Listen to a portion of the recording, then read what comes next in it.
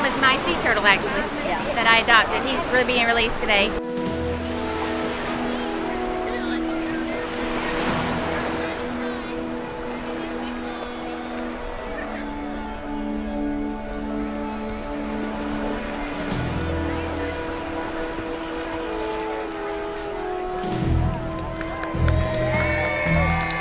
The little kids in my family, we've all followed Phantom on the website and now today we just drove six hours to get here this morning so that we could be here for, for the release. So it's for us it's exciting.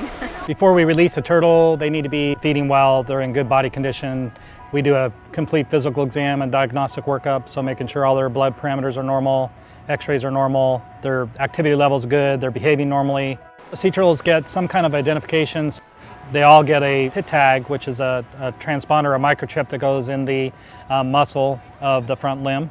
And then uh, most of them get flipper tags. A lot of the turtles will get a satellite transmitter, and that's something we can actually track the animal with via a satellite, and then it's downloaded to our computer so we can tell if the animal's still moving, where it's going, and how these animals do post-release.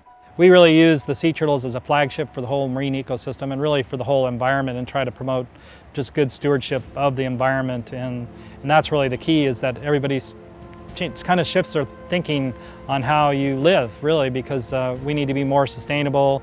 We need to be more caring for the environment. We need to get our kids outside, um, seeing the world, not just being on computers and not just watching TV. On June 16, 2007, we opened our doors as the Georgia Sea Turtle Center. And four years later, we are still operational and helping sea turtles. So today we're handing out these turtle bubbles to all of our guests. really starts with kids, and that's something we do at the Sea Turtle Center too, is um, really have a real strong education program. I think that's real critical to educate the kids about what, what we have here. Some place like Jekyll Island is just a, an amazing place. All these barrier islands in Georgia are so special, and we want to maintain them for people to see, but also so wildlife can use them. And sea turtles are just a, a flagship uh, species to get us thinking about being good stewards.